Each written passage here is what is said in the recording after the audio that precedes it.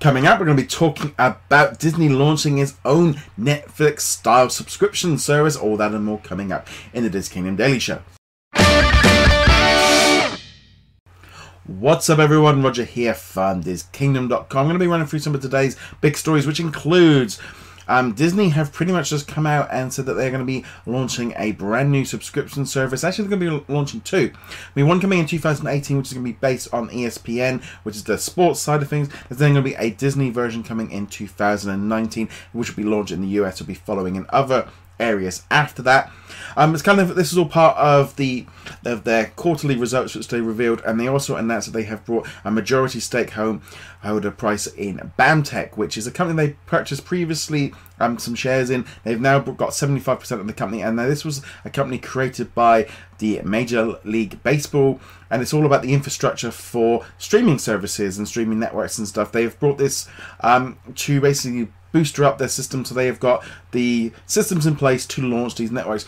Um, and the, the, number of different platforms use this one, including, for example, the WWE network, which is something that I subscribe to, which works very, very well.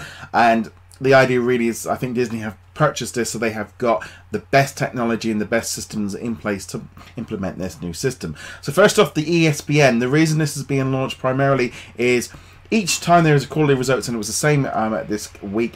Um, ESPN numbers are down, the subscribers are coming down, revenue's dropping down. People are just cutting the cord of the traditional television in droves, and so they want to launch their own subscription service based on that. So this is going to be launched. But the big news really that kind of came off of that was this news of the Disney version, which is going to be kind of similar to Netflix. Now, here in the UK, they actually launched a system called Disney Life um, a while ago, which includes movies, includes TV shows, books, audios. They did have games, but that got um, took it, taken out of it, and it's about four ninety nine. Unfortunately, the only reason I do not subscribe to that system over here is because they do not have smart TV apps, and I want to be able to watch that on the TV rather than on my iPad, or even if there was a, an app on the PlayStation or Xbox, I would use that instead. Um, tons of things over here. So for us, it's nothing really new, but I suspect what's going to happen is once this major new system is up there, it will be renamed, or even the US version could even be called Disney Life. It's launched in China, it's launched all over the place, so it's a little bit of a testing bed, I think, to see how that was going to work. Big news from this is going to have all the Disney movies, Pixar movies, um, Disney like television shows, and the um, the networks and stuff they have. They're all going to be creating exclusive content and movies for this year. What that does mean is they're going to let a number of the current rules that they have in place, for example, with Netflix, they're going to once they end, they will then be kind of that will no longer happen. So the Disney movies are going to be coming off of Netflix once the deal expires, and they'll all be moving onto this platform. No word yet on what's going to be happening with Star Wars and Marvel. That was kind of kept tight whether or not they're going to launch separate systems for them. Personally, I'd love it all under one big roof, and I think they're maybe just testing the um, waters, see how that goes. Personally, like I said, I think Marvel and Star Wars especially should be there. Especially when you think got like Star Wars Rebels and the animated TV series now, there there's been kind of an interesting reaction to this. Um, first off, you had a lot of people reacting from the point of view of loving the idea. You know, they want everything all under one roof. It's a lot, lot easier. A lot of people that are already subscribers to Netflix aren't happy that those things are going. This is one of the major problems with digital distribution is if you are subscribing, you do not have access to everything for life. These things very much come and go you know they can put one TV show on there and it can be removed the next month. This is how it goes. It's not permanent, unlike buying, for example, a Blu-ray or something like that. Now, the issue a lot of people is they don't want to be keep paying for all the different subscription services. They all started cutting the cord to try and save money, and unfortunately, it looks like there's, you're going to need lots of different platforms depending on what you're going to be watching. However, it is your choice. If you don't want to watch it, you don't have to pay for it. For me personally, I took out a Netflix subscription to watch Daredevil and all the Marvel TV series. We've kept it on because there's enough stuff on there that I feel like it's value.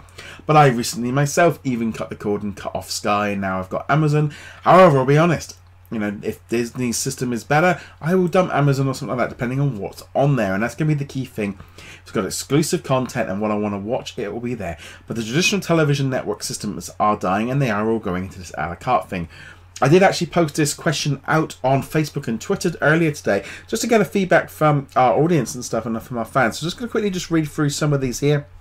Um, first off, on Twitter, I asked about it. Um, Infinity Rama said, "Good news for Disney. It's not great for Netflix. I don't really don't want another streaming box, but it, if the but the content might be worth it. Now that's the big key thing.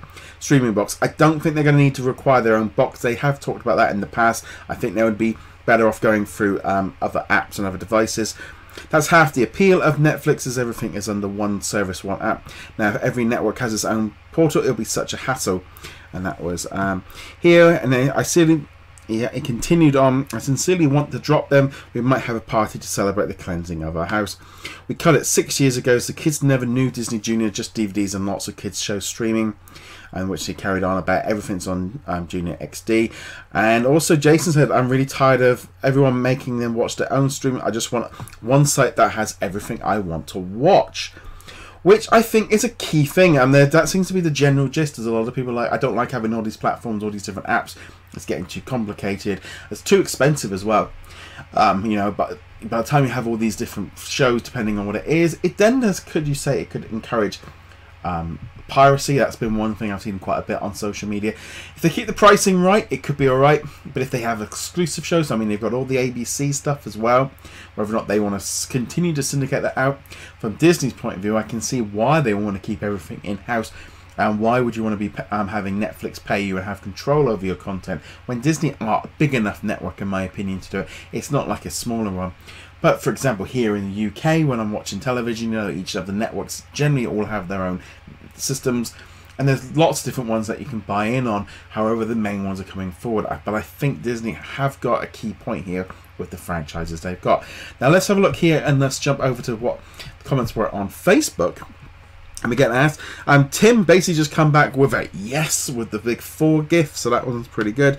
Um, Milton responded, everyone complained that it was too expensive to pay for cable, only get a bunch of channels you didn't want. Now every content produced in the world is going to get um, nickel and dime the customers to death, which is a continuous thing. Um, Marina said, I'm sorry to say it's just another way for Disney to make money from its fans, which I would agree. That is generally what businesses are there for. So, um, uh, Jeffrey said they continue to spiral downwards as greedy company that has lost its magic years ago. Um, BJ um, said about it depends how Marvel is affected. Becky said greed. Um, Conrad said pass. Travis from the site said um, smart move for Disney. Why let others profit off your properties? Bill said long overdue. Jeremy said sounds like a flop, and Daryl said no, thank you. So there we go. So that was just a quick feedback. So this is something I will be doing um, on the Daily Show. Is just jumping in and putting a question out on our social medias. But I'd also like to know if you are watching or listening to us. Let me know what you guys think in the comments below on that subject. I'd love to know your thoughts. I'll be reading them and also responding to them on there as well. So there we go. That was off of like the Netflix things. I'm sure we're going to be going to this a lot more depth as we find out a little bit more information. Other things from that. Um, there wasn't really a huge amount really coming out of that quarter. That was the main news. Um, sort of basically TV dropping down they're doing quite well at the box office. Not as well depending on each quarter. The trouble is with each quarter, it depends what's come out. They had Guardians of the Galaxy and Pirates of the Caribbean, but when they compare it to the previous one with like Rogue One, it's it all depends on what's going on. Box office looks fine with that there.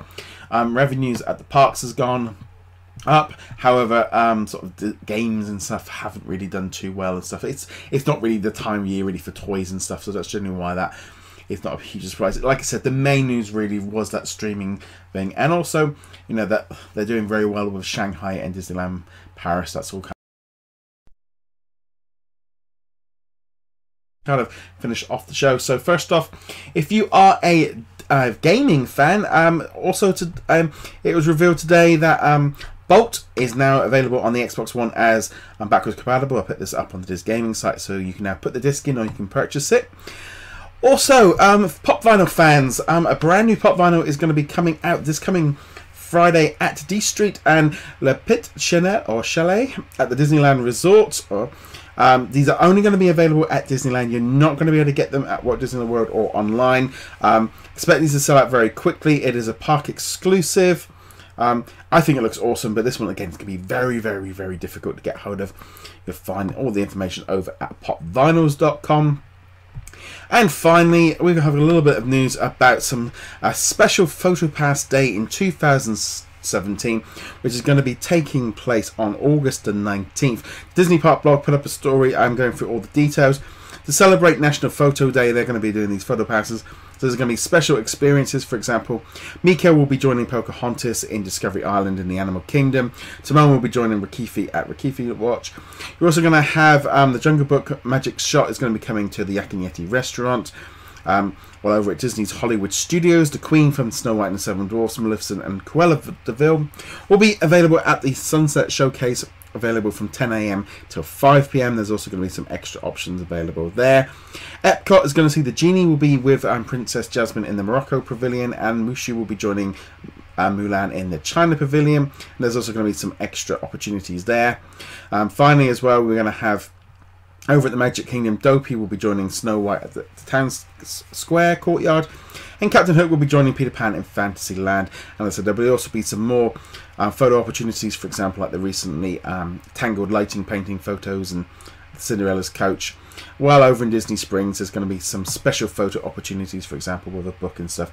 No word yet on what they're going to be doing for um, Disneyland, but I suspect they'll be doing something pretty similar. Love the idea that they're bringing out these um, characters, and I think just in general, getting the sort of social images out there on all the different social media platform stuff is great publicity, and it's also just great if you're at the parks and any chance to meet them.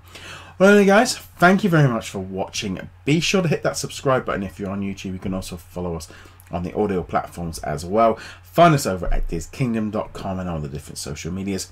Quick note to say as well, I'm giving away a $20 um, store discount for um, Nintendo, PlayStation, etc. You'll find all the information over at DisKingdom.com forward slash giveaway. Anyway, guys, thank you very much for watching, and I shall see you tomorrow. Later.